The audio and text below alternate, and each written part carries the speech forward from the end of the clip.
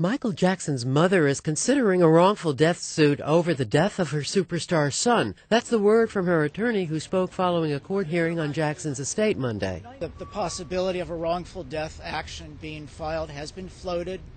No decision has been made whatsoever. And in that regard, no decision has been made about who the possible defendants in a wrongful death action might be. One of the names being floated as a possible defendant is Jackson's personal physician, Conrad Murray. He's been the focus of a criminal investigation into Jackson's death. Authorities believe he gave a powerful anesthetic to the singer on the day he died in June. Another defendant could be Jackson's concert promoter, AEG. Katherine Jackson's attorney says the company was paying Murray's salary and the rented mansion where Michael Jackson died.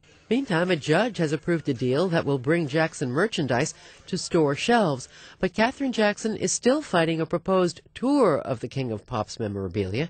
Observers say Monday's hearing shows tension is brewing between Jackson's mother and the executors of the star's estate. There apparently are disputes between them over specific points of deals that are being made. A judge will take up the question of whether the memorabilia tour will go forward during a hearing Friday.